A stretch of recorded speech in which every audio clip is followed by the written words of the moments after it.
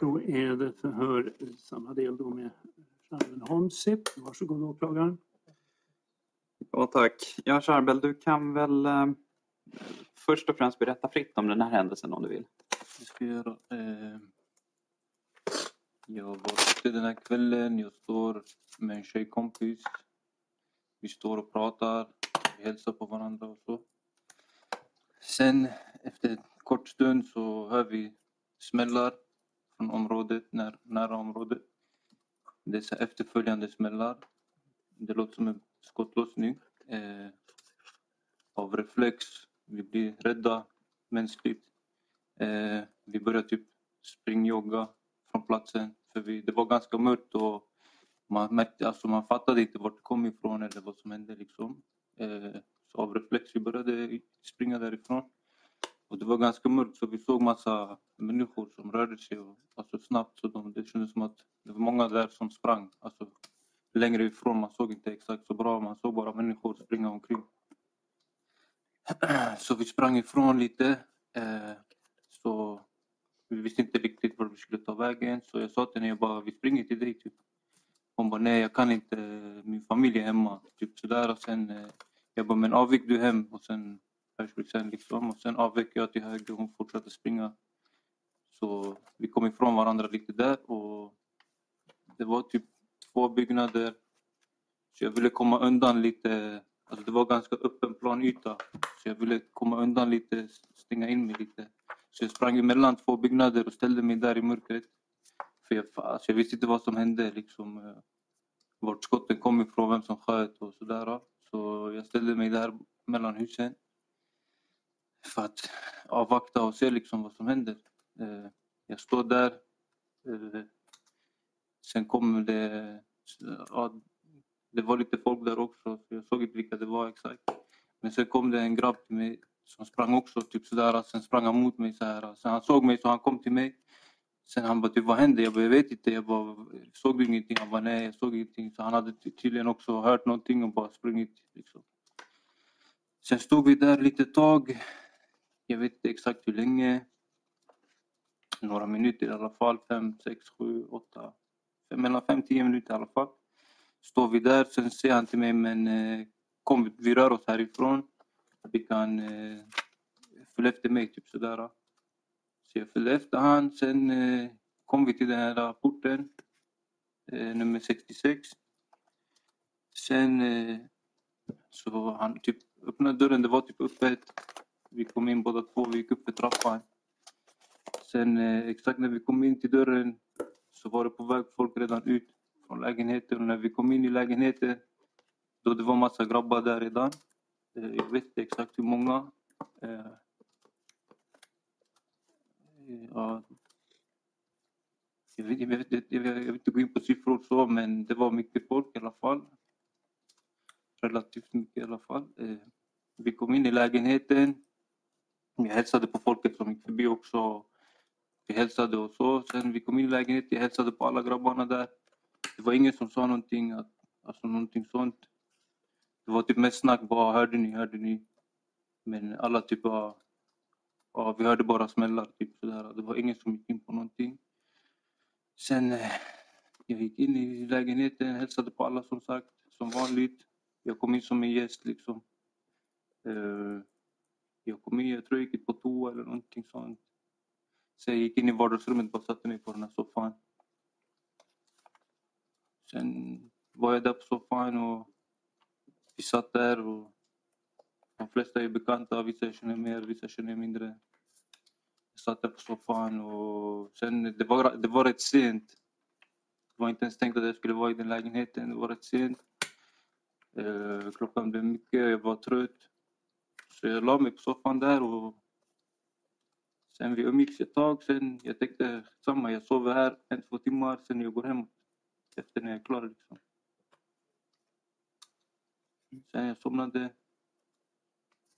Sen polisen kom, väckte oss. Blev gripen, häktad. Jag blev på fri fot från häktet. Så nu är vi här idag. Är det något annat som du vill säga om den här händelsen? Primecrime.se Jag vet inte vad mer vill du att jag ska säga. Nej, Jag tänker innan jag börjar ställa frågor. Ställ dina frågor. Eh, Om vi börjar lite tidigare under kvällen då. Eh, Jag har ju påstått här att, att eh, det är du som kör den här gröna Volvon som vi har sett en film på. Eh, Är det du som har kört? Det är inte jag som kör bilen. Det är inte du? Det är absolut inte jag som kör bilen. Nej. Känner du igen bilen? Bilen är... Det är mycket bilar omkring. Eh, säkert. Jag kanske har sett det men det är ingenting jag lägger märke till. Det är en vanlig Volvo liksom. Vi bor i Sverige och Volvo, det är varannan bil är Volvo. Mm. Känner, du igen, eh, känner du till någon person som heter Nancy Said? Hanna Galliana? Ja, jag känner till. Ja. Är ni vänner? Vi är vänner. Ja. Om jag påstår att det är hennes bil, kan det stämma? Vet du om man har en sån bil?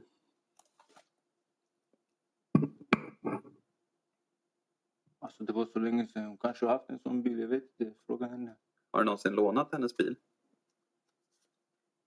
Nej, det inte. Det har du inte? Inte vad jag minns i alla fall. Skulle du ha minst det då om du, om du hade gjort det? Ja, säkert. Men nu liksom då. Ett och ett halvt år sedan. Jag lånade mycket bilar. Okej. Så, men om jag skulle ha lånat hennes bil skulle jag väl minnas det. Vad gör du på kvällen då? Ja, Jag sa ju det, jag var där i området. Så jag stod och pratade med en tjejkompis, sen vi har smällar. Sen, Va, hur kommer det sig att du befinner dig i området? Och vad är området? Är det Bäckby då eller är det på Lugnsgatan eller vad? ja men det var väl där det blev smällar. Där det blev smällar? Det är ju Bäckby väl, Okej. om jag inte har fel. Och varför var du där? primecrime.se. Jag bor i Västerås och jag bor på Hammarby. Det är ett gränsområde om man säger så. Det är rätt nära hem.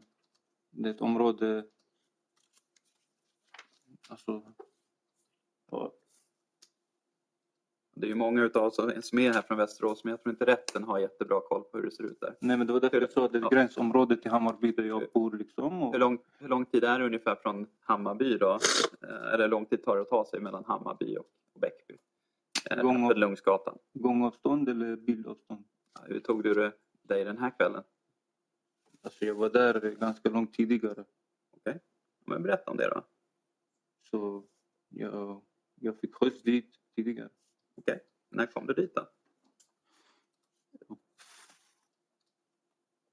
Jag minns inte exakt, det var så länge sedan. Men det var var, ett tag gjorde- innan, det var ett tag innan smällarna i alla fall. Förstår Okej. du? Alltså det var inte så att jag precis kommit dit och sen blev det smällar. Liksom. Jag var redan där och gick. Hur länge hade du varit där då, innan smällarna kom? Jag minns det exakt. Är det på natten, är det kvällen, ja, det på dagen? kvällen. Det är på kvällen. Det är på kvällen. Det är på kvällen. Och vem var det som skjutsade dig dit då? Det var en vän. Vill du säga namnet på den vännen? Nej, jag kommer inte namnge någon. Är det något kontroversiellt? Alltså är det, det är väl inga, inga konstigt att, att köra en vän? Alltså jag minns inte exakt. så- Alltså, det är oväsentligt egentligen.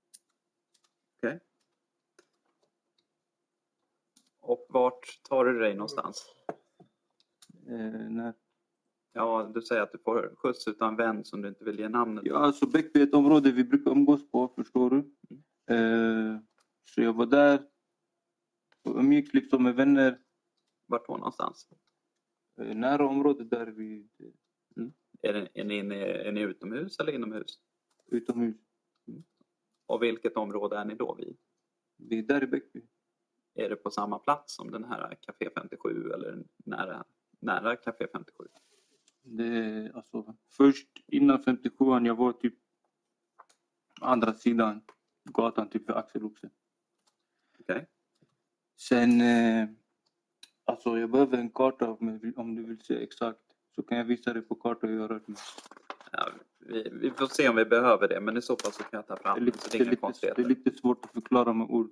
Jag förstår. För rätten, de kan inte Västerås så bra. Jag vill visa så de förstår. Eh, Vill, vill du visa på kartan så kan vi ta fram en sen. Men vi, vi försöker med ord först, får vi se om, om det behövs. Men jag förstår då att då kommer du på kvällen. Vet du ungefär vilken tid du är där på kvällen? Nej, det är ganska sent på kvällen. Kanske en timme innan det där händer. Okej, för det här, jag påstår att skjutningen sker någonstans efter klockan fyra på morgonen. Ja. Jag hade inte så bra koll eh, på tiden för ett tag där. Jag började tjafsa med min flickvän. Vem, vem var din flickvän då? Vad är det för något? Är det, är det någon som du har varit med under kvällen? Nej, nej, nej, nej. Nej, nej. Det var via telefonen liksom. Eh, Sen eh, så gick jag ensam typ och pratade i telefon. Det var då jag träffade på min tjejkompis Nathalie. Mm. Eh, Ja, sen eh, jag la på och började prata med Nathalie. Det var då vi hörde smällarna. Hur lång tid efter att du kommer till det här området stöter du på Nathalie?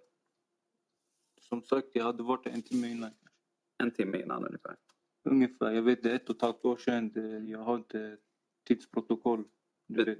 Betyder det att du och Nathalie umgås en timme då innan den här? Nej, nej, nej, nej, nej. Nej. Som sagt, eh, jag är i området Bäckby. Kanske inom en timme där. Ja. Så Eh, då säger vi att klockan är runt tre snåret då. Ja, du kan säga så. Ja. Sen eh, så är jag ju med mina vänner. Vilka är vännerna? Mina vänner som jag brukar umgås med. Är det någon av dem som sitter här inne? Nej, jag var inte med de här. Vilka är vännerna då? Kan du namnge någon av dem? Nej, jag kommer inte namnge någon. Varför inte då? För jag sitter oskyldigt åtalad för grovt vapenbrott för att jag råkar vara på en plats. Jag vill att jag ska namnge folk som ska sitta oskyldigt här också, eller? Primecrime.se. Men det är väl jättebra att du berättar att om det finns människor som kan säga att du inte befann Jag har dig åberopat människor som har sett mig. Mm. Så det kommer komma en människa som vittnar om att han har sett mig. Och de här vännerna då? De vill inte namnge? Nej. Okej. Jag var i alla fall med mina vänner. Inte någon som sitter här i alla fall. Okej. Så du var med, med vän, vänner du inte vill namnge? Det är Ja. klart. Eh, så du kommer till Västerås runt klockan tre och så är du med de här vännerna. Hur lång tid är du med dem? Till Bäckby. Förlåt, förlåt du kommer till Bäckby vid klockan tre. Jag Ja. vet inte exakt, jag kan inte säga exakt tiden men vi kan Plus leka med minus. tanken där någonstans. Ja, vi säger ungefärligt då. Okej, ja. Det, om du säger att det är en timme innan ungefär då. Okej, Ja. ungefär. Eh, hur länge umgås du med dina vänner innan du träffar på Nathalie? Då? Ja, om jag är där en timme innan och sen hör jag smällan efter en timme. Då är det en timme. För jag träffar ju på Nathalie. Vi hinner prata någon minut, sen hör vi smällan. Okej, så du träffar Nathalie någon minut innan Ja, det börjar skjuta, när ni hör smällarna. stämmer. Hinner ni prata någonting då innan? Ja, ja, alltså som sagt, eh, jag var ju med mina grabbar. Eh, det var inte så nära Café 57 då. Eh, sen får jag samtal med tjejen så, så gick jag undan mina grabbar. Det är skämmigt att stå och tjafsa med tjejer framför sina kompisar. Mm. Så jag tog en liten promenad själv, du vet. Mm. Eh, så jag kom där vid... Eh, alltså det är därför jag vill visa kartan, men jag kommer visa sen. Så kommer jag där på vä- gångvägen, så kommer Nathalie där. Och sen så, så avslutade jag samtalet med min tjej. Det blev lite tjafsigt. Sen hälsade jag på Nathalie och sådär. Vi hann börja prata lite och sen bom, bom, bom, bom, bom. Och sen sprang vi därifrån liksom. Så, och ni hann prata i någon minut då menar du? Eller om jag förstod det rätt. Som sagt. Okej, vi hoppar vidare och då har du förklarat här att ni delar på er. Att Ja. du springer mot Lungsgatan eh, Nej, 66. Ja, precis. Ja. Inte direkt men Eh, Springer du mot den platsen eller springer du mot en annan plats först? Det är, som sagt det är just därför jag vill visa kartan så alla förstår liksom. Ja, ska vi göra så? Kan notarien eh, kanske få ner det så ska vi se om jag kan få fram en bra kartbild.